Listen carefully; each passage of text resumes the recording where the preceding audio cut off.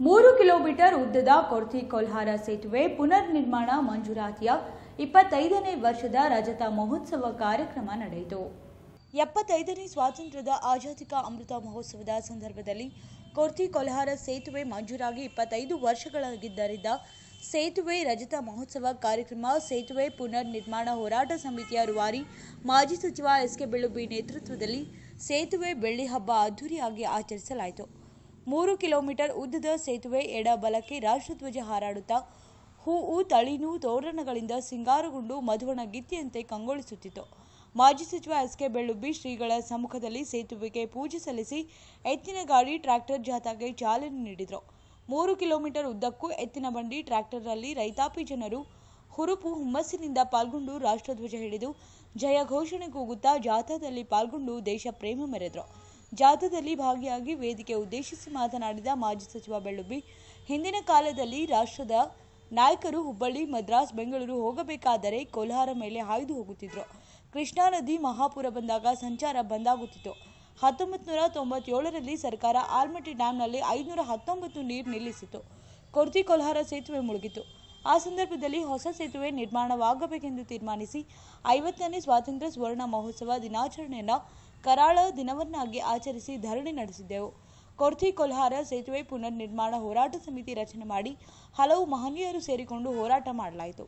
ಆಲ್ಮಟ್ಟಿಯಲ್ಲಿ ಇಪ್ಪತ್ತೇಳು ದಿನ ಧರಣಿ ಕುಳಿತ ವೇಳೆಯಲ್ಲಿ ಆಗಿನ ಶಾಸಕ ಬಿಎಸ್ ಪಾಟೀಲ್ ಮನುಗುಳಿ ಹೋರಾಟಕ್ಕೆ ಬೆಂಬಲ ನೀಡಲಿಲ್ಲ. ಆಗಿನ ಮುಖ್ಯಮಂತ್ರಿ ಜೆಎಚ್ ಪಟೇಲ್ ನೀರಾವರಿ ಮಂತ್ರಿ ನಾಗೇಗೌಡ ಆಲ್ಮಟ್ಟಿಗೆ ಬಂದು ಹೋರಾಟ ಕೈಬಿಡಿ ಎಂದು ಮನವಿ ಮಾಡಿಕೊಂಡು ಸೇತುವೆ ಸರ್ವೆ ಕಾರ್ಯಕ್ಕೆ ಒಂದು ಕೋಟಿ ರೂಪಾಯಿ ಅನುದಾನ ಮಂಜೂರು ಮಾಡಿದರು. ಹತ್ತೊಂಬತ್ತು ನೂರ ತೊಂಬತ್ತೆಂಟು ತೊಂಬತ್ತೊಂಬತ್ತರಲ್ಲಿ ನಾನು ಬಿಜೆಪಿ ಎ ಆಗಿದ್ದೆ. ರಾಜ್ಯದಲ್ಲಿ ಕಾಂಗ್ರೆಸ್ ಸರ್ಕಾರ ಇತ್ತು.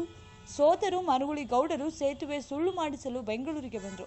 ಸೇತುವೆ ನಿರ್ಮಾಣಕ್ಕಾಗಿ ಹೋರಾಡಿದ ಮಹನೀಯರ ಕುರಿತು ಪುಸ್ತಕ ಬಿಡುಗಡೆ ಹಾಗೂ ಸನ್ಮಾನ ಕಾರ್ಯಕ್ರಮ ಬರುವ ಜನವರಿ ಹದಿನಾಲ್ಕಕ್ಕೆ ಮಾಡಲಾಗುವುದು. ರಾಜನಾಥ್ ಸಿಂಗ್, ಅನಂತಕುಮಾರ್ ಅವರ ಕಳಕಳಿಯಿಂದ ವಿಜಯಪುರ ಹುಬ್ಬಳ್ಳಿ ಹೆದ್ದಾರಿಯಾಗಿದೆ. ಭೂಮಿ ಪೂಜೆ ಹಳೆ ಕೊಲ್ಹಾರ ಹೈಸ್ಕೂಲ್ನಲ್ಲಿ ಆಗಿದೆ. ಬ್ರಿಡ್ಜ್ ಉದ್ಘಾಟನೆ ಸಂದರ್ಭದಲ್ಲಿ ನಾನು ಸೋತಿದ್ದೆ. ಶಿವಾನಂದ್ ಪಾಟೀಲ್ ಶಾಸಕರಾಗಿದ್ದರು ಬ್ರಿಡ್ಜ್ ಉದ್ಘಾಟನೆ ಆ ಭಾಗದ ಟಕ್ಕಳಿಕೆ ಹತ್ತಿರ ಆಯಿತು. ಆಗಿನ ಮುಖ್ಯಮಂತ್ರಿ ಕುಮಾರಸ್ವಾಮಿ ಪೂಜೆ ನೆರವೇರಿಸಿದರು ಎಂದು ಮಾತನಾಡಿದರು. ಇದೇ ಸಂದರ್ಭದಲ್ಲಿ ಬಿಜೆಪಿ ಜಿಲ್ಲಾಧ್ಯಕ್ಷ ಕುಚ್ಬಾಳ್ ನಿಂಬೆ ಅಭಿವೃದ್ಧಿ ನಿಗಮ ಮಂಡಳಿ ಅಧ್ಯಕ್ಷ ಚಂದ್ರಶೇಖರ್ ಕವಟಗಿ, ಪೂಜ್ಯ ಶ್ರೀ ಕಲ್ಲಿನಾಥ ಮಹಾಸ್ವಾಮೀಜಿ ಹಾಗೂ ಕೈಲಾಸನಾಥ ಮಹಾಸ್ವಾಮಿಗಳು ಆಶೀರ್ವಚನ ನೀಡಿದರು. ನೂರಾರು ಸಂಖ್ಯೆಯಲ್ಲಿ ರೈತರು ಅಭಿಮಾನಿಗಳು ಕಾರ್ಯಕ್ರಮದಲ್ಲಿ ಭಾಗಿಯಾಗಿದ್ದರು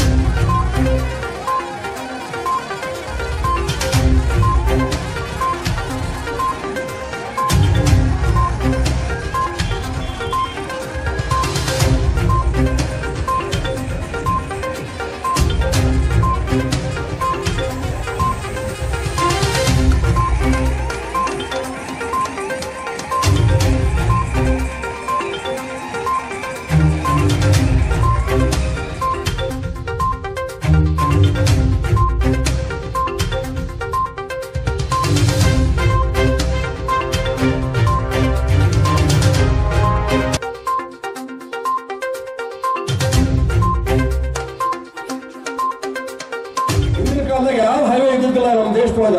ದಿಲ್ಲಿಯಿಂದ ಇಂದಿರಾ ಗಾಂಧಿ ಇರ್ಬೋದು, ಜವಾಹರ್ಲಾಲ್ ನೆಹರು ಇರ್ಬೋದು, ಮಹಾತ್ಮ ಗಾಂಧಿ ಇರ್ಬೋದು, ಲಾಲ್ ಬಹದ್ದೂರ್ ಶಾಸ್ತ್ರಿ ಇರ್ಬೋದು ಯಾರನ್ನ ಇಲ್ಲಿ ಬೆಂಗಳೂರು ಬರಬೇಕಾಗಿದ್ರ, ಹುಬ್ಬಳ್ಳಿಗೆ ಬರಬೇಕಾಗಿದ್ರ, ಮದ್ರಾಸ್ ಬರಬೇಕಾಗಿದ್ರ, ಕೊಲ್ಲಾರ ಮ್ಯಾಗ ಹಾಕಿದ್ರು. ಅಂತ ಹಿನ್ನೆಲೆ ಇರ್ತಕ್ಕಂಥ ಊರು ನಮ್ಮ ಹುಟ್ಟಿರ್ತಕ್ಕಂಥ ಊರು ಕೊಲ್ಲಾರ ಜನ್ಮ ಕೊಟ್ಟಿರ್ತಕ್ಕಂಥ ಊರು ಕೊಲ್ಲಾರ. ಎಲ್ಲರೂ ಇಲ್ಲೇ ಆಗ್ಬೇಕು ಒಂದೇ ರಸ್ತೆ ಅದು ಒಂದೇ ರಸ್ತೆ. ಹೀಗಾಗಿ ಅದು ಮಾಪುರ್ ಬಂದಾಗ ಕೃಷ್ಣಾ ನದಿ ಮಹಾಪುರ ಬಂದಾಗ ನಾಲ್ಕು ತಿಂಗಳು ಬಂದಾಕಿತ್ತು ಎರಡು ತಿಂಗಳು ಕುಲ ಹಾಕಿತ್ತು ಜೂನ್ ಜೂನ್ ಇಪ್ಪತ್ತೇಳು, ಸತ್ತಾವೀಸ್, ಜೂನ್ ಇಪ್ಪತ್ತೇಳು ಬಸ್ ತಾವು ಬಂದ್ ಹಾಕಿದ್ದು ಹೊಳಿ ಬರ್ಲಿಕ್ಕೂ ಆ ಕೊರ್ತಿಗೆ ಬಂದ ಬಸ್ ಅಲ್ಲೇ ಇರ್ತಿದ್ದು ಕೋಲಾರ ಬಂದ ಬಸ್ ಇಲ್ಲೇ ಹೊಳಿತಿದ್ದು ಹೊಳಿ ಬರ್ಲಿ ಬಿಡ್ಲಿ ಹೊಳಿ ಬರ್ತಿತ್ತು ಜೂನ್ ಇಪ್ಪತ್ತೇಳು ಬಂದಾಕಿತ್ತು ಬ್ರಿಡ್ಜ್ ಅದು. ವಾಡಿಕೆ ಅದು. ಯಾವಾಗ ಹತ್ತು, ಹದಿನೈದು ವರ್ಷದಾಗ ಮೃಗಶಿರ ಮಳಿ ಮಹಾಬಲೇಶ್ವರ ಬೆಟ್ಟಕ್ಕೆ ಆಗ್ಲಿಕ್ಕಂದ್ರೆ ಒಂದು ತಿಂಗಳು ಜುಲೈದಾಗ ಹೊಳಿ ಬರ್ತಿತ್ತು. ಅವಾಗ ಒಂದು ಮಳೆ ತಪ್ಪಿದ್ರೆ ಮಾತ್ರ. ಸೂರ್ ಸತ್ತಾವೇಶ ಅಂದ್ರೆ ಹೊಳಿ ಬಂದು. ಕಾದು ಮತ್ತೆ ಇವತ್ತಿನ ಮಕ್ಕಳಿಗೆ ಗೊತ್ತಿಲ್ಲ ಯುವಕರಿಗೆ ಗೊತ್ತಿಲ್ಲ ಅದು. ಹಿರಿಯರು ಗೊತ್ತು? ಸೂರ್ ಸತ್ತಾವೇಶ ಬಂದು ಬೆಳೆ ಹೊಳೆ. ಕಟ್ಟ ಇದ್ದಾರೆ. ಅದು ಒಳಗೆ ಏನಾರು ಮಾಡ್ಕೋಬೇಕು. ಕೊಟ್ಟಿ ಭಾಗದಾಗ ಏನಾರು ಇಲ್ಲಿ ಕೆಲಸ ಮಾಡ್ಕೋಬೇಕು, ಅಲ್ಲಿ ಹೆಣ್ಣು ಕೊಡೋದು ತಗೊಳಿದ್ರ ಅಲ್ಲಿ ಹೋಗಿ ಬರೋದಿದ್ರ, ಎಲ್ಲ ಆಗ್ಬೇಕದು. ಈ ಹೋರಾಟ ಮಾಡಾಕ ನಮ್ಮ ತಿಮ್ಶೆಟ್ಟಿ ಅವರು ಅವರು ಪತ್ರಕರ್ತರು ಕಾಗಡಿಕೆ ನಮ್ಮ ಜೊತೆ ಇದ್ರು ಅವ್ರು ಹೇಳ್ತಿದ್ರು ಬ್ರಿಡ್ಜ್ ಕಟ್ಟಿಬಿಡ್ರಿ, ನಮ್ಮ ಹೆಂಡತಿ ಅವ್ರಿಗೆ ಕೆಲಸ ಆಗಲ್ಲ ಹೋಗಿ ಬರ್ಬೇಕು ಅಂತಿದ್ರು ವಿಚಾರ ಮಾಡ್ರಿ ವರ್ಷ ಆಗತ್ತೆ ಗಲಗಲಿ ಮ್ಯಾಗ ಹೋಗ್ಬೇಕು ಇಲ್ಲಿ ತಾಲ್ಗಟ್ಟಿ ಮ್ಯಾಗ ಹೋಗ್ಬೇಕು. ಎರಡೆರಡು ದಿವಸ ಹೋಗೋದು ಬೇಗೂರಿಗೆ ಹೋಗ್ಬೇಕಾದ್ರೆ. ಏನು ಮಾಡ್ರಿ ಅಣ್ಣ ಅಂತ ಬಂದಿಲ್ಲ ಬಾ ಅಂತ ಹೇಳಿದ್ದೆ ನಾನು. ಅಂದ್ರೆ ಇಷ್ಟು ತೊಂದರೆ ಇಲ್ಲಿರ್ತಕ್ಕಂಥದ್ದು ಯಾಕೆ ಆಯ್ತು ತೊಂದರೆ? ಹತ್ತೊಂಬತ್ತು ನೂರ ತೊಂಬತ್ತೇಳಕ್ಕೆ ಆಲಮಟ್ಟಿ ಡ್ಯಾಮ್ ಒಳಗ ಐನೂರ ಹತ್ತೊಂಬತ್ತಕ್ಕೆ ನೀರು ನಿಲ್ಲಿಸ್ಬಿಟ್ಟು ಸರ್ಕಾರ. ಆ ನೀರು ನಿಂತಾಗ ಆ ಇದ್ದ ಕಾಸುವೆ ನಾಲ್ಕು, ಎಂಟು ತಿಂಗಳು ಕುಲ ಹಾಕಿತ್ತು. ಅದು ಕೂಡ ಶಾಶ್ವತವಾಗಿ ಹನ್ನೆರಡು ತಿಂಗಳು ಬಂದಾಗ್ಬಿಡ್ತು ತೊಂಬತ್ತೇಳನೇ ಇಸ್ವಿ. ತೊಂಬತ್ತೇಳಕ್ಕೆ ಅದು ಆಗಸ್ಟ್ ಪಂದ್ರ ಇತ್ತು ಮುಂದೆ. ಅವಾಗ ನಾವು ಬಂದಾಗಿ ಬಂದಾಗ್ಬಿಡ್ತು. ಬಂದಾಗ ಸ್ವಾತಂತ್ರ್ಯೋತ್ಸವ, ಯಾವ ಸ್ವಾತಂತ್ರ್ಯೋತ್ಸವ ಅದು? ತೊಂಬತ್ತೇಳನೇ ಇಸ್ವಿ ಸ್ವಾತಂತ್ರ್ಯ ಸಿಕ್ಕು ಐವತ್ತು ವರ್ಷ ಆಗಿತ್ತು ನಮ್ಮ ದೇಶಕ್ಕೆ. ಈಗ ಎಪ್ಪತ್ತೈದು ವರ್ಷ ಆಗೈತಿ. ಐವತ್ತು ವರ್ಷಕ್ಕೆ ಏನಂತೀವಿ ನಾವು? ಏನಂತೀವಿ?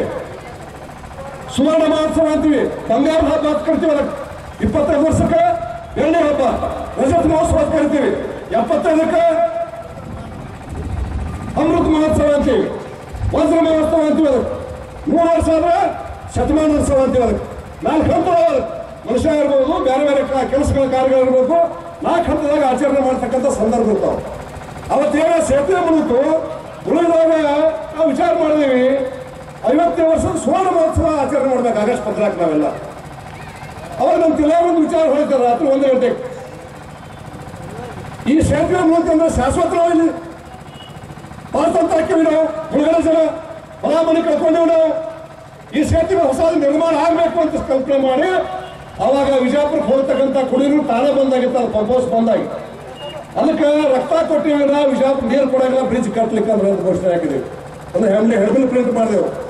ಹಾಗೇನೆ ಸುವರ್ಣ ಮಹೋತ್ಸವ, ಸ್ವಾತಂತ್ರ್ಯೋತ್ಸವ, ಮುಳುಗಡೆ ಜನರಿಗೆ ಕರಾಳ ತಿಳ್ಕೊಂಡು ಕೈ, ಕಪ್ಪು ಬಟ್ಟೆ ಕಟ್ಕೊಂಡು ಅಲ್ಲಿ ಧರಣಿ ಕುಂತೇವೋ. ಆಗಸ್ಟ್ ಹದಿನೈದು ನಾವು ಮಾಡಿಲ್ಲ, ಐವತ್ತನೇ ವರ್ಷದ ಈ ದೇಶದ ಅದು ಕ್ಷಮಾ ಕೇಳ್ತೇವೆ, ಭಾರತ ಮಾತಾಗ ನಾವು. ನಮ್ಮ ಹಕ್ಕಿಗಾಗಿ. ಆ ಹಬ್ಬ ನಾವು ಯಾರು ಮಾಡಿಲ್ಲ ಕೋಲಾರದಲ್ಲಿ. ಹಿಂದೂ ಮುಸ್ಲಿಂ ಯಾರು ಮಾಡಿಲ್ಲ. ನಮ್ಮ ಕೈ ಕೊಟ್ಟಾಗ ಹೀಗಾಗಿ, ಆ ಮಹನೀಯರು ಅದು ಹೋರಾಟ, ದೊಡ್ಡ ಹೋರಾಟಗಳು ನಡೆದು ಪ್ರತಿ ಕೋಲಾರ ಸೇತುವೆ ಪುನರ್ ನಿರ್ಮಾಣ ಹೋರಾಟ ಸಮಿತಿ ಮಾಡಿ ಮೊದಲು ನಾನು ಅಧ್ಯಕ್ಷ ಆಗಿದ್ದೆ ಆಮೇಲೆ ರಾಮನಗೌಡ ಚಕ್ಕರಗೌಡನ ಅಧ್ಯಕ್ಷ ಮಾಡಿ, ನಾನು ಕಾರ್ಯಾಧ್ಯಕ್ಷ ಆಗಿ ಎಲ್ಲ ಜನ ಸೇರಿ, ಅವೆಲ್ಲ ಸೇರಿ ದೊಡ್ಡ ಹೋರಾಟ ಮಾಡಿದೆ. ಮಾಡಿದಾಗ ಒಬ್ಬ ಮಹನೀಯರು ಇವತ್ತು ನಮ್ಮ ಜೊತೆ ಇಲ್ಲ. ಆ ಮಟ್ಟಿಗೆ ಸಾವಿರ ಜನ ಕರ್ಕೊಂಡು ಹೋದಾಗ ಇವತ್ತಿನ ಹಿಂದಿನ ಮುಖ್ಯಮಂತ್ರಿ ಅಂತ ಮುಖ್ಯಮಂತ್ರಿ ಅಂತ ರಾಜಕಾರಣ ನಮ್ಮ ಜೀವನದಾಗ ಎಂದೂ ನೋಡಕ್ ಸಾಧ್ಯ ಇಲ್ಲ ನಾವು ಅವ್ರು ಸಿದ್ಧಾರ್ಥಿ ಮನುಷ್ಯ, ಅವ್ರು ಹೇಳ್ತಾರೆ. ಇಪ್ಪತ್ನಾಲ್ಕು ತಾಸು ಇದಾಗಿರ್ತಿದ್ರು ಭೂಮಿ ಆಗಿರ್ತಿದ್ರು ಆಗ ಒಂದು ಮಾತು ತಪ್ಪಿದ್ದಿಲ್ಲ. ಒಂದು ಅಕ್ಷರ ತಪ್ಪಿದ್ದಿಲ್ಲ, ಒಂದು ಶಬ್ದ ತಪ್ಪಿದ್ದಿಲ್ಲ. ಏನ್ ಹೇಳ್ತಾರೆ ಗಂಡ ಕೆಲಸನ? ಹೇಳುವಂತ ಮಾತನ್ನ ಅಂತ ಮುಖ್ಯಮಂತ್ರಿ ಜಯಂತ್ ಪಟೇಲ್. ಅವ್ರ ಜೊತೆ ನೀರಾವರಿ ಮಂತ್ರಿ ಆಗಿರ್ತಕ್ಕಂಥ ದಿವಂಗತ ಕೆ ಎಂ ನಾಗೇಗೌಡ. ಆ ಇಬ್ರು ಮಾಡಿ ಅವರು ಆರು ಮಟ್ಟಿಗೆ ಬಂದಾಗ ನಿಮಗೇನು ಬಿಡಿಸ್ಬೇಕಾ? ಇಬ್ರು ಹೆಗಲ ಮೇಲೆ ಕೈ ಹಾಕೊಂಡು ಬಂದು ಜಯಂತ್ ಪಟ್ಲ ಐ ಬಿ ಸಾವಿರಾರು ಜನ ಕೆಟ್ಟ ಬಿಸಿಲಾಗ ಹೋಗಿದ್ದೀವಿ. ಹೋದಾಗ ಆಯ್ತು, ಅವ್ರು ಸರ್ವೆ ಮಾಡಿ ಏನು ಹಾಗೆ ಕೂಡ ಬಾರೋ ಇಲ್ಲಿ ಕರೆದು ಆ ಕೊಲ್ಲಾರ ಬೀಚ್ ಕೇಳಕತ್ತಾರೆ ಬೆಳ್ಳಿ ಬೆಳಗ್ಗೆ ಮಂದಿ ಬಂದಾರ ಅದನ್ನ ಸರ್ವೆ ಮಾಡಕ್ಕೆ ಕೊಟ್ಟು ಬಿಡಿಗಟ್ಟ ಖರ್ಚು ಕೊಡ್ಲಕ್ಕ ಅಂತ ಹೇಳ್ಬಿಟ್ರು. ಅವಾಗ ಗಣೇಶ್ ಪ್ರಸಾದ್ ಅಂತ ಅವ ಏನಂದ ಸಾವಿರ ಬ್ರಿಡ್ಜ್ ಒಂದು ಕಟ್ಟಡ ಕಟ್ಟಿ ದುಡ್ಡು ಕೊಡ್ಬೇಕ್ರಿ ಅಂದ ಅವ್ರು ಏನು ಹೇಳಿದ್ರು ಅವಾಗ? ಕೆಟ್ಟ ಬಿಸಿಲಾಗ. ಏನಾದ್ರು ಗೊತ್ತಾಯ್ತು? ಕೂಡ ಒಂದು ವಿನಂತಿ ಏನ್ ಮಾಡ್ಕೊಳ್ತೀನಿ ನಾನು? ಹೆಂಗ ಇವತ್ತು ಎರಡ್ ಸಾವಿರದ ಎಂಟು ಐದಾರು ತಿಂಗಳು ಚುನಾವಣೆ ಬರ್ತೈತಿ. ಅದಕ್ಕ ನಿಮಗೆ ಏನಾದರೂ ಬಸವನ ಬಾಗೇವಾಡಿ ಮತಕ್ಷೇತ್ರದೊಳಗ ಭಾರತೀಯ ಜನತಾ ಪಾರ್ಟಿಯಿಂದ ಸನ್ಮಾನ್ಯ ಬೆಳುಬಿ ಅವರು ನೀವು ಟಿಕೆಟ್ ಕೊಡ್ಲೇಬೇಕು, ಅವರು ಯಾಕಂತಂದ್ರೆ ನೀವೇನಾದ್ರೂ ಕೊಡ್ಲಿಲ್ಲಪ್ಪ ಅಂತಂದ್ರೆ ಹದಿನೆಂಟರೊಳಗೆ ಯಾವ ಪರಿಸ್ಥಿತಿ ನಿಮ್ಮ ಪಕ್ಷಕ್ಕೆ ಬಂದಿತ್ತು ಅದೇ ರೀತಿ ಪರಿಸ್ಥಿತಿ ಬರ್ತೈತಿ ಅಂತಕ್ಕಂಥ ಕರೆಯನ್ನು ಅವರಿಗೆ ಭಾರತೀಯ ಜನತಾ ಪಾರ್ಟಿಯಿಂದ ಒಂದು ಅಭಿಮಾನ ದಿಗಂಬರೇಶ್ವರ ಆಶೀರ್ವಾದದಿಂದ ನಾನು ನುಡಿಯಂಗಿಲ್ಲ, ಆದ್ರೆ ನುಡಿತೀನಿ. ಒಂದು ಅಭಿಮಾನದ ಮಾತಂತ ಹೇಳಿ ಇಚ್ಛೆ ಪಡ್ತೀನಿ. ಇಪ್ಪತ್ತ್ ಮೂರರ ಚುನಾವಣೆ ಒಳಗ ಅವರಿಗೆ ಖಂಡಿತವಾಗಿನೂ ನಾಳೆ ಸೂರ್ಯ ಉದಯ ಆಗುದು ಸತ್ತ ಐತಿ. ಇಪ್ಪತ್ತ್ ಮೂರು ಚುನಾವಣೆ ಒಳಗೆ ಅವರೇ ಅಭ್ಯರ್ಥಿಯಾಗಿ ಆಯ್ಕೆ. ಅದಕ್ಕೆ ನಾನು ಕುಚ್ಮಾಳ ಅವರಿಗೆ ವಿನಂತಿ ಮಾಡ್ಕೊಳ್ತೀನಿ. ಲಿಂಬಿ ಅಭಿವೃದ್ಧಿ ಅಧ್ಯಕ್ಷರಿಗೆ ಮತ್ತು ನಮ್ಮ ಉಮೇಶ್ ಅಣ್ಣ ಕಾರಜೋಳ ಅವರಿಗೆ ವಿನಂತಿ ಮಾಡ್ಕೊಳ್ತೀನಿ. ಈ ನೀವು ಬೆಳುಂಬಿ ಅವರಿಗೆ ಏನಾದ್ರೂ ಟಿಕೆಟ್ ಇಲ್ಲಿ ಬಸವನ ಬಾಗೇವಾಡಿ ಕ್ಷೇತ್ರದಿಂದ ಕೊಟ್ರ ಎರಡೂ ಜಿಲ್ಲೆ ಒಳಗೆ ಭಾರತೀಯ ಜನತಾ ಪಾರ್ಟಿಗೆ ಬಹಳ ಒಂದು ಒಳ್ಳೆಯ ಕಾಲ ಬರ್ತೈತಿ ಅಂತಕ್ಕಂಥ ಅಭಿಮಾನದ ಮಾತುಗಳನ್ನು ಹೇಳ್ತಾ ಇನ್ನೂ ವೇದಿಕೆ ಮೇಲೆ ಅನೇಕರು ಕೂಡ ಆ, ಮಾತನಾಡುವರಿದ್ದಾರೆ. ಅವರನ್ನ ನಾವು ಕರೆ ಕೊಟ್ಟು ನರೇಂದ್ರ ಮೋದಿಜಿ ಹೆಂಗ ದೇಶಕ್ಕಪ್ಪ ಅಂತಂದ್ರೆ ದೇಶಕ್ಕೆ ನರೇಂದ್ರ ಮೋದಿ ರಾಜ್ಯಕ್ಕೆ ಬೊಮ್ಮಾಯಿ ಬಸವನ ಬಾಗೇವಾಡಿಗೆ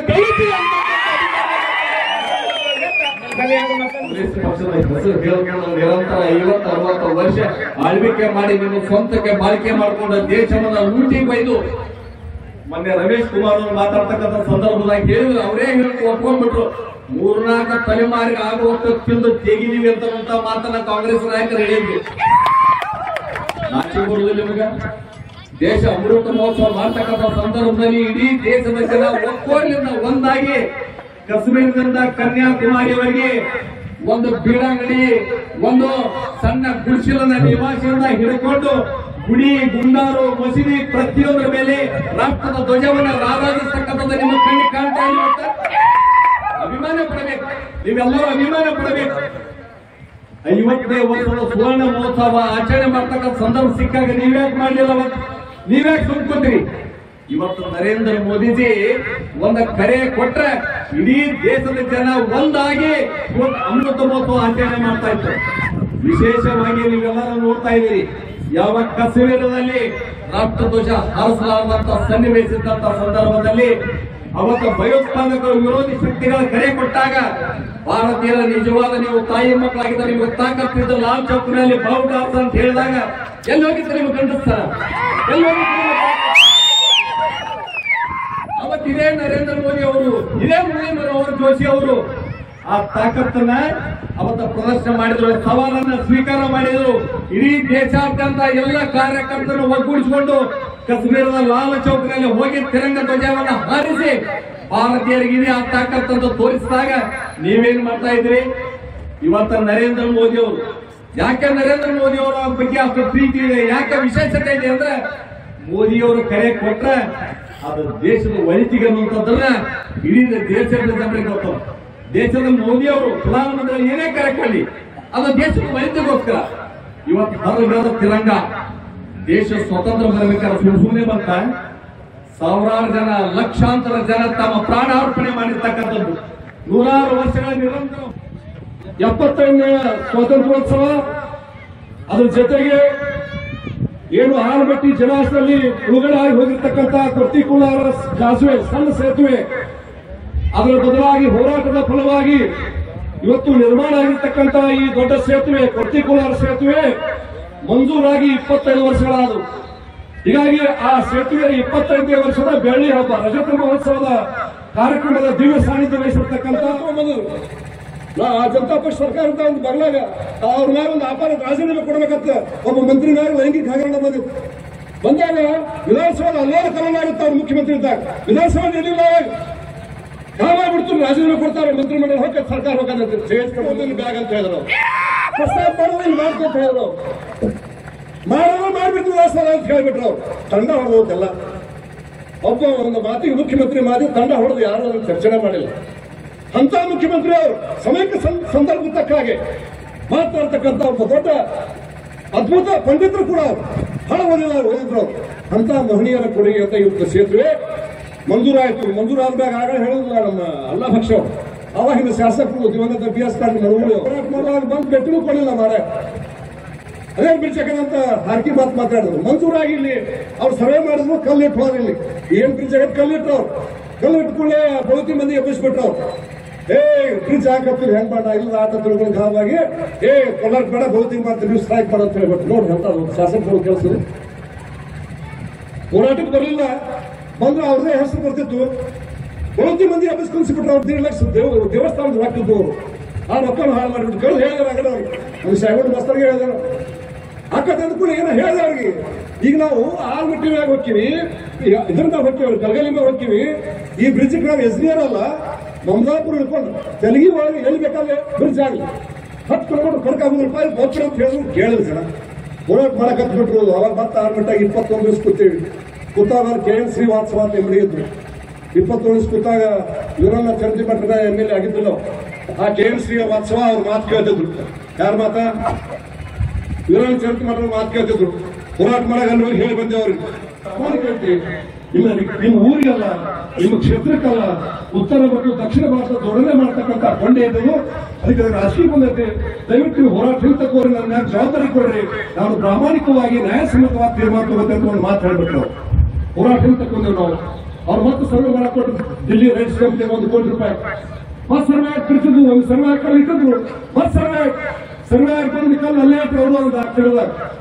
ಇಟ್ಟು ತೊಂಬತ್ತೆಂಟು, ತೊಂಬತ್ತೊಂಬತ್ತು ಎಂ ಎಲ್ ಎಲೆಕ್ಷನ್ ಬಂತು ಸನ್ಮಾನ ಯಡಿಯೂರಪ್ಪ ಅವರು ಬಿಜೆಪಿ ಟಿಕೆಟ್ ಕೊಟ್ಟರು ನೀವೆಲ್ಲ ಆಶೀರ್ವಾದ ಮಾಡಿದ್ರೆ ಅವಾಗ ಎಂ ಎಲ್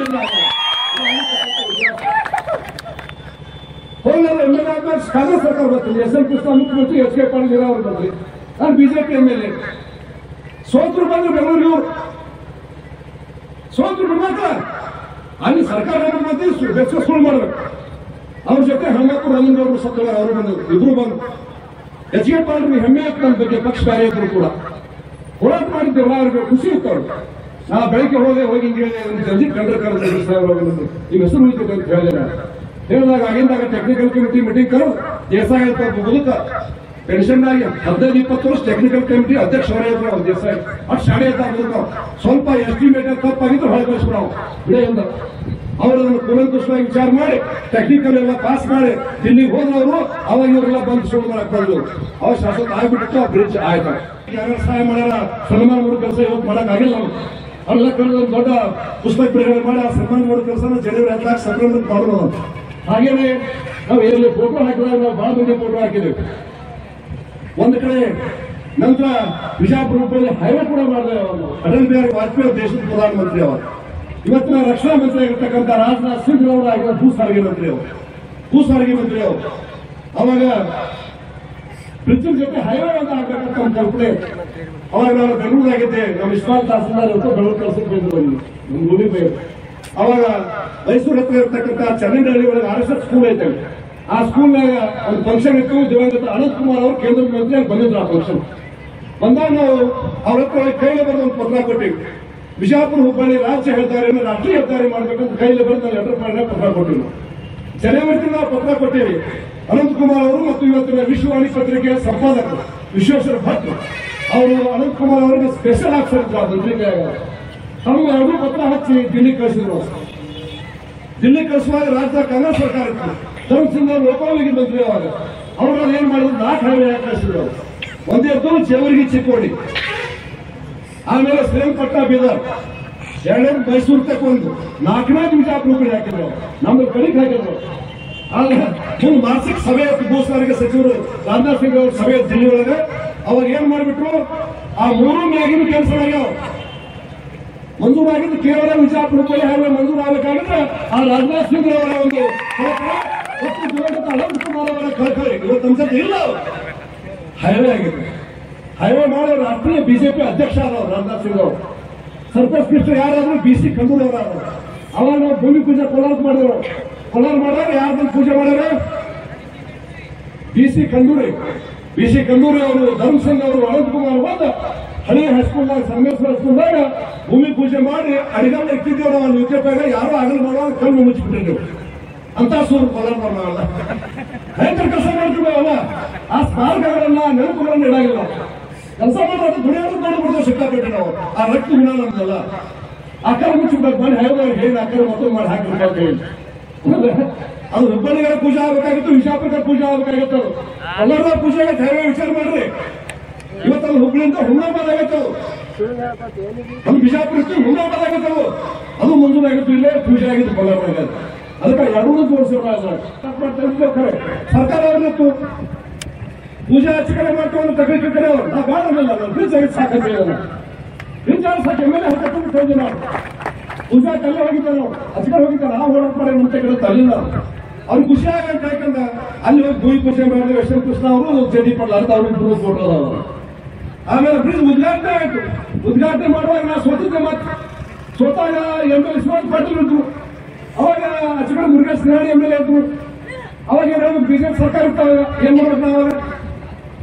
ಏನ್ ಮಾಡೋದು ನಾಲ್ಕು ವರ್ಷದಲ್ಲ ಅರವತ್ತು ವರ್ಷದಲ್ಲ ನಾ ಇಲ್ಲ ನಾ ಸ್ವತಂತ್ರ ಉದ್ಘಾಟನೆ ಹೆಂಗ್ ಮಾಡ್ಬೇಕು ಅವಾಗ ಅದು ಅಚ್ಚಕಡೆ ಆಗಲ್ಲ ಅಂತ ಹೇಳಿದ್ರು. ನೀವು ಪೂಜಾ ಅಚ್ಚಕಡೆ ಮಾಡಿದ್ರಿ ಈಗ ಅಲ್ಲಿ ಬಿಜೆಪಿ ಸರ್ಕಾರ ಐತಿ, ಅಲ್ಲಿ ಬಿಜೆಪಿ ಎಂ ಎಲ್ ಅದಾರ ಅಲ್ಲೇ ಪೂಜಾ. ಅವಾಗ ಕುಮಾರಸ್ವಾಮಿ ಅವರು ಮುಖ್ಯಮಂತ್ರಿ ಸಮ್ಮಿಶ್ರ ಸರ್ಕಾರ ಇರ್ತಾವ ಯಡಿಯೂರಪ್ಪನವರು ಬರಕ್ ಬಿಟ್ಟು ಕುಮಾರಸ್ವಾಮಿ ನಿಗಮ ಮಾಡೋದು ಕಳಿಸ್ಕೊಟ್ಟಿದ್ರು ಅವರು ಕುಮಾರಸ್ವಾಮಿ ಅವರು ನಿರಾಣಿ ಅವರು ಏನ್ ಮಾಡಿದ್ರು ಅದಕ್ಕಿಂತ ಮೊದಲು ನಮ್ಮ ಮಕ್ಕಳ ಮದುವೆ ಒಳಗೆ ನಮ್ಮನ್ನೆಲ್ಲ ಪೂಜೆ ಮಾಡಿದ್ದೇವೆ. ಪೂಜೆ ಮಾಡಿ ಬಿಡಿದ್ರು ಯಾಕಂದ್ರೆ ಆ ಬ್ರಿಜ್ ಪೂಜೆ ಮಾಡಿ ಕುಮಾರಸ್ವಾಮಿ ಅವರು ಅಫ್ಜಲ್ಪುರ್ ಹೋದ್ರು ಆಗ್ತೀವಿ ಪೂಜೆ ಮಾಡ್ಕೊಂಡು. ಅಂದ್ರೆ ಇದು ಸ್ವಲ್ಪ ಇತಿಹಾಸ ಗೊತ್ತಿಲ್ಲ ಅಂತ ಆ ಫೋಟೋ ಯಾಕೆ ಹಾಕಿದ್ರೆ ನಿಮ್ಗೆ? ಸ್ವಲ್ಪ ಗೊತ್ತಿಲ್ಲ ಅಂತ ನಾವು ಅವ್ನು ಜೋಡಿಸಿದೀವಿ. ಇನ್ನು ಹತ್ತು ಮನೆಯವ್ರು ಸಹಾಯ ಮಾಡಿದಾರೆ, ಸಹಕಾರ ಮಾಡಿದಾರೆ. ಅದ್ರ ನಮ್ಮ ವಿಶೇಷವಾಗಿ ಆ ಬ್ರಿಡ್ಜಿನ ಸಲುವಾಗಿ ವಿಧಾನಸಭೆಯಲ್ಲಿ ಪ್ರಸ್ತಾಪ ಮಾಡಿ ಒತ್ತಾಯ ಮಾಡಿರ್ತಕ್ಕಂಥವ್ರು ಇವತ್ತು ನಮ್ಮ ಸಂಸದರಾಗಿರ್ತಕ್ಕಂಥ ರಮೇಶ್ ಜಿಗಜಿಗಿ ಅವರು ಮತ್ತು ನಮ್ಮ ನೀರಾವರಿ ಸಚಿವರಾಗಿರ್ತಾರೆ ಗೋವಿಂದ ಕಾರವಾರ ಸರ್ ಅವ್ರಿಗೆ ಇವತ್ತು ಬರಬೇಕಾಗಿತ್ತು, ಬೇರೆ ಕಡೆ ಬರೋಕ್ಕಾಗಿಲ್ಲ ಅವರು. ಅವರು ಪ್ರಸ್ತಾಪ ಮಾಡಿ ಇದನ್ನ ಆಗ್ಬೇಕಂತ ಒತ್ತಾಯ ಮಾಡಿರ್ತಕ್ಕಂಥ ಪ್ರಮುಖರು ಯಾರಾದ್ರೂ ಇದ್ರೆ ಅವರು ಕೂಡ ನಮ್ಮ ಸಂಸದರಾಗಿರ್ತಾರೆ ಸಿಂಗ್ ಸಾಹೇಬರು ಇರೋ ಸಚಿವರಾಗಿರ್ತಕ್ಕಂಥ ಗೋವಿಂದ ಕಾರವಾರ ಸಾಹೇಬ್ ಕೂಡ ನಾವೊಂದು ಮರಿಬಾರ್ದು ಅಂತಕ್ಕಂಥ ಮಾತನ್ನು ಕೂಡ ನಾನು ಬಯಸ್ತೇನೆ ಹೀಗಾಗಿ ಸಾಗರ ಸೇರುವ ನದಿಗಳೆಲ್ಲ ಸಾಗರ ಒಪ್ಪುವಯ್ಯ, ನೀವೆಲ್ಲರೂ ಒಂದಾಗಿ ಜೊತೆಗೂಡಿದರೆ ಬಿಜಾಪುರ ಜಿಲ್ಲೆಯಿಂದ ಎಸ್ ಕೆ ಬೇರು ಬೇರು ಸಚಿವರಾಗಿರುತ್ತಾರೆ ಸಚಿವರಾಗುತ್ತಾರೆ ಅಂತ ಹೇಳ್ತಾರೆ. ಯಾಕಂದ್ರೆ ಈ ಹತ್ತು ವರ್ಷದ ಅವಧಿಯಲ್ಲಿ ಬಸವನ ಬಾಗೇವಾಡಿ ಮತಕ್ಷೇತ್ರ ಏನು ಜಿಡ್ ಹಚ್ಕೊಂಡೈತಿ ಅಂತಕ್ಕಂಥದ್ದು ಎಲ್ಲರಿಗೂ ಗೊತ್ತೈತಿ ಆ ಜಿಡ್ ಕಳೆಯುವಂತ ಸಂದರ್ಭ ಇದೆ ಅಂತಕ್ಕಂಥದ್ದು ಇವತ್ತು ತೋರಿಸಿಕೊಟ್ಟಂತ ಒಂದು ಶುಭ ಸಂದರ್ಭ ಅದಕ್ಕಾಗಿ ಪುಣ್ಯಾತ್ಮರೇ, ಒಬ್ಬ ಮಗ ಇದ್ದಂತ ಮೈಗಳ ಹೇಗಿದ್ನಂತಂದ್ರ ತಾನೂ ಇಸಾಕ್ ಬಿಟ್ಟಿದ್ದಿಲ್ಲ ಮತ್ತೊಬ್ಬನು ಇಸಾಕ್ ಬಿಟ್ಟಿದ್ದಿಲ್ಲ ಅಂತ. ಅಂತ ಒಬ್ಬ ಮಗನನ್ನು ಸಾಕಿದ ತಂದೆ ತಾಯಿಗಳಿಗೆ ಭಾರವಾಗಿ ಊರಲ್ಲಿ ತಿರುಗಾಡ್ತಾ ಇರುವಾಗ ಸಮಾಜದವ್ರು ಹೇಳಿದ್ರಂತ ನಿಮ್ಮ ಮಗ ಬಾಳ ಉಡಾಗಿ ಮಾಡಕತ್ತಾನ ಅವ್ರು ಮದುವೆ ಮಾಡ್ರಿ ಬಿದ್ದು ಬರ್ತದ ಅಂತ ಹೇಳಿದ್ರಂತ ಅವಾಗ ತಂದೆ ತಾಯಿ ಮಗನ ಕೇಳ ಕೇಳ್ತಾರ, ಏನಪ್ಪ ಮಗನ ವಯಸ್ಸಿಗೆ ಬಂದಿ, ಮದುವೆ ಮಾಡ್ತು ಕನ್ಯಾ ನೋಡುವ ಅಂತ ಹೇಳಿದ್ರಂತ ಅವಾಗ ಕನ್ಯಾ ನೋಡುವ ಅಂತಂದ್ರೆ ಅವಾಗ ಕನ್ಯಾ ನೋಡಕ್ಕೂ ಮನಸ್ಸು ಬರ್ಲಿಲ್ಲ ಅವಾಗ. ಮದುವೆ ಆಗಕ್ಕೂ ಮನಸ್ಸು ಬರ್ಲಿಲ್ಲ. ಮುಂದೆ ಯಾವ್ದಾದ್ರು ಜವಾಬ್ದಾರಿ ಕೊಡುವಂತ ಮತ್ತೆ ಊರಿನ ಪ್ರಮುಖರು ಹೇಳ್ತಾರ. ಅವಾಗ ಮತ್ತ ಮಗನ ತಾಯಿ ತಂದೆ ಹೇಳ್ತಾರ, ಏನಪ್ಪ, ನೀವು ಮದುವೆಯಾಗಿ ಶಾಣೆ ಆಗಂತಂದ್ರೂ ಆಗಲಿಲ್ಲ, ಶಿಕ್ಷಣ ಕೊಟ್ಟು ಒಬ್ಬ ವಿದ್ಯಾವಂತ ಆಗಲು ಆಗಲಿಲ್ಲ. ಮತ್ತೆ ಈ ಸಮಾಜಕ್ಕೆ ಹೊರೆಯಾಗಿ ಮನೆಗೆ ಭಾರ ಆಗಿರೋಕ್ಕಿಂತಲೂ ಎಲ್ಲರ ಹೋಗಿ ಸಾಯಬಾರದು ಅಂತ ತಂದೆ ತಾಯಿ, ಇದು ಸ್ವಾಭಾವಿಕ ತಂದೆ ತಾಯಿ ಮಾತಾಡೋ ಮಾತು. ಅಂದಾಗ ಮಾತ್ರ ಆ ರೀತಿ ಏನಂತ? ಯಾವಾಗ ತಂದೆ ತಾಯಿ ಬಾಯಾಗಿ ಮಾತು ಬಂದದಂದ್ರ, ನಾವು ಉಳಿಬಾರ್ದು ಅಂತ ತಿಳ್ಕೊಂಡು ಎಲ್ಲಿಗೆ ಹೋದ? ಹಳ್ಳಿ ದಾಂಡಿಗೆ ಹೋದ. ದಂಡಿಗೆ ಹೋಗಿ ಕೆಸಿಂದ ಏನ್ ಮಾಡ್ತಾನ ನದಿ ತುಂಬ ಎಲ್ಲಿ ಕತ್ತೈತಿ ಅಲ್ಲಿ ಕೂತುಗಳ ಮ್ಯಾಗ ಕೂತ್ಕೊಂಡ ಆ ನದಿ ಮ್ಯಾಗ ಕಾಲು ಹೊಡ್ಕೊಂಡು ಕೂತ. ಇವ ಮುಂಜಾನೆ ಹೋಗಿ ಕುಂತನ ಒಬ್ಬ ನಮ್ಮ ರೈತ ಒಬ್ಬ ಮುದುಕ ನೋಡ್ತಾನ, ಏನೋ ತಮ್ಮ ತುಂಬ ಹೊಳೆ ಹರಿದೈತಿ ಜೋರಾಗಿ ಹೊಳೆ ಬಂದ ಹರ್ಕೊಂಬಾರಿ ಅಂತ ಮನೆಗೆ ಹೋಗಿ, ಬಂದು ಅವಾಗ ಅವ ಹೇಳಿದಂತ, ಏ, ನನಗೆ ಬೇಕಾದ್ರೆ ಹೋಗ್ತೀನಿ ಇಲ್ಲಿ ಬಿಡ್ತೀನಿ ಏನ್ ಹೇಳ್ತಿ? ಅನ್ನವ. ಅವಾಗ ಮತ್ತ ಅವ ಹೊತ್ತು ಮನೆಗೆ ಹೊಳೆ ಬಿಡೋವಾಗ ಅಲ್ಲೇ ಕೂತಿದ್ ಮತ್ತ ಏನೋ ತಮ್ಮ ಏನು ಮನೆಗೆ ಹೋಗಿಲ್ಲ ಅಂತಂದ್ರ, ನನಗೆ ಹೊಳೆ ಬಿಡಾಕ್ ಬಂದಿನಿ ನೀವು ನೀರ ಕಾದಿಲ್ಲ ಅದೇ ನದಿ ನೀರು ಅದಕ್ಕೆ ವರ್ಷ ಜೀಟಿ ನಮ್ಮ ಒಂದು ಮತಕ್ಷೇತ್ರ. ಅಂತಕ್ಕಂತ ಸಂಭ್ರಮವನ್ನ ಇವತ್ತು ಕೋಲಾರ ಸುತ್ತಮುತ್ತಲಿನ ಎಲ್ಲ ಗ್ರಾಮಸ್ಥರು ಬಹಳ ಸನ್ಮಾನ್ಯ ದಳುಪಿಯವರು ಒಂದೇ ಒಂದು ಕರೆಯನ್ನು ಕೊಟ್ಟರು ದೇಶದ ಪ್ರಧಾನಮಂತ್ರಿಗಳ ದೇಶಕ್ಕೆ ಕರೆ ಕೊಟ್ಟೆ. ದಳುಪಿಯವರು ಎಲ್ಲರಿಗೆ ಒಂದು ರೈತ ನಾಯಕರಿಗೆ ಕರೆಯನ್ನು ಕೊಟ್ಟರೆ ಸುಮಾರು ಸಾಕು.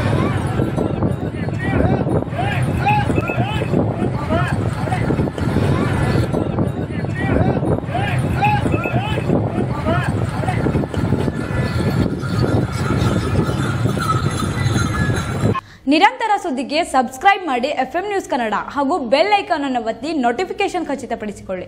ಧನ್ಯವಾದಗಳು.